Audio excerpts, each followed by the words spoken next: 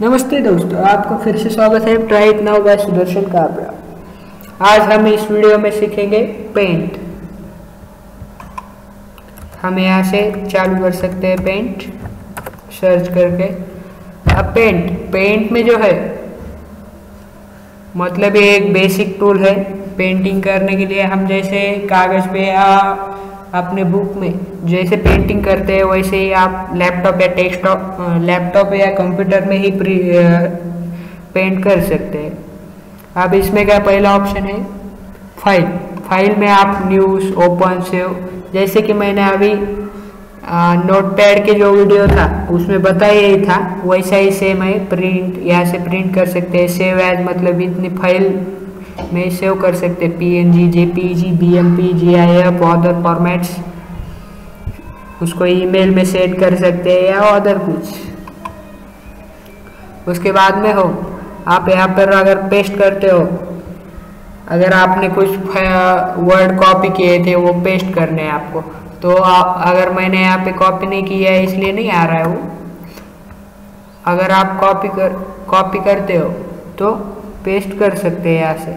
उसके लिए आपको कॉपी करने के लिए अगर पेंट में से करना है तो आपको ये सिलेक्ट ऑप्शन बहुत अच्छा रहेगा।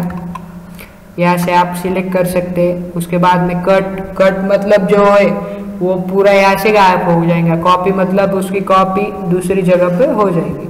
और वो कट और कॉपी अगर मैंने ये कॉपी किया, उसके बाद में यही पेस्ट करना है मुझे, ये देखिए सेम आ गया। उसके बाद में मैंने ये कट किया। उसके बाद में वापस पेस्ट किया। देख सकते हैं आप। इस सिलेक्ट में भी ऑप्शन है rectangular selection free form selection free form selection में आप अपने हिसाब से शेप बनाकर सिलेक्ट कर सकते हैं। उसके बाद में सिलेक्ट ऑल मतलब पूरा जो पेज है, वो सिलेक्ट करना होगा। तो आप ये सिलेक्ट कर सकते हैं। अगर आपने ये सिलेक्ट किया है उसका आ, मतलब अपोजिट सिलेक्ट करना है तो इन्वर्ट सिलेक्शन एक ऑप्शन है। अगर आपने जो सिलेक्ट किया है वो डिलीट करना है तो यहाँ से डिलीट ऑप्शन है।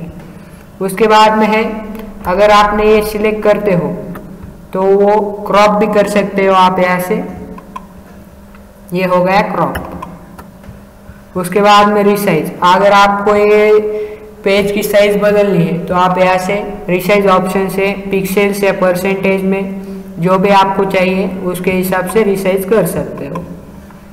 उसके बाद में पेंसिल पेंसिल हम जो डेली यूज़ करते हैं पेंसिल वैसे ही पेंसिल है, खाली लैपटॉप या कंप्यूटर में है।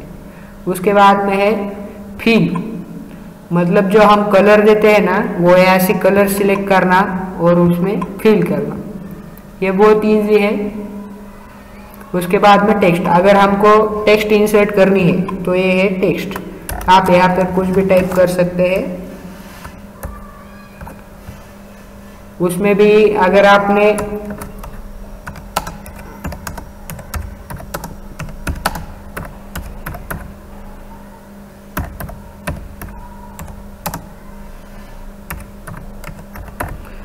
आपको ये सिलेक्ट करना है, आप उसका कलर चेंज कर सकते हो।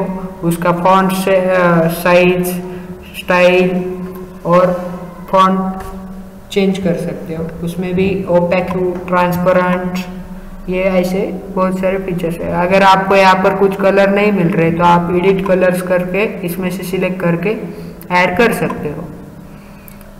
अब ये हो गया टेक्स्ट बॉक्स उसके बाद में है इरेजर अगर आपको ये गलत हो गई ये चीज़, ये इरेज करना है अगर आपको इसे बड़ा करना है तो कंट्रोल दबा के प्लस का जो साइन रहता है उसे प्रेस कीजिए, ये बड़ा हो जाएगा। आप इससे इरेज कर सकते हैं। उसके बाद में है कलर ड्रॉपर अगर आपको एक कलर यहाँ पे ढूँढने की ज़रूरत नहीं पड़नी होगी तो आप यहाँ से कलर ड्रॉपर कर सकते हैं। यहाँ से आपको कलर मतलब ड्रॉप किया जाएगा। वो कलर आप फील में जाके फील कर सकते उसके बाद में है मैग्नीफायर अगर आपको ये बहुत नज़दीक से देखना है, क्या है, दिखाई नहीं दे रहा है तो आप लेफ़्ट क्लिक कर, करके जूम कर सकते हैं और राइट क्लिक से वापिस जैसा था वैसा कर सकते हैं। उसके बाद में है ब्रशेस ब्रशेस यहाँ पे अलग अलग टाइप से ब्रशेस के भी, जो हम डेली यूज़ करते हैं, वैसे ही अलग अलग टाइप से उसके बाद में यहाँ पे रहता है शेप्स शेप्स शेप्स में यहाँ पे बहुत सारे शेप्स हैं। आप इसमें से कौन सा भी लेके ड्रॉ किया, यहाँ पे कलर वो न रहने की वजह से आपको दिखाई नहीं दे रहा होगा। आप दिखाई दे रहा होगा। उसको आप आउटलाइन चेंज कर सकते हो। जो चाहिए वो, जो ब्रश की स्टाइल से उसके हिसाब से आप यहाँ से आउटलाइन चेंज कर सकते हो। उसके बाद में है फील फील से आप जो कलर मतलब जिस टाइप में फील करना चाहते हो ये देखिए आप। यहाँ से फिल कर सकते हो। उसके बाद में है साइज़ अगर आपको ये आउटलाइन जो है, वो और बड़ी चाहिए तो यहाँ से आप छोटी बड़ी कर सकते हैं। उसके बाद में कलर कलर तो आपने देखा ही था। ये जो कलर वन रहता है, वो मेन कलर रहता है।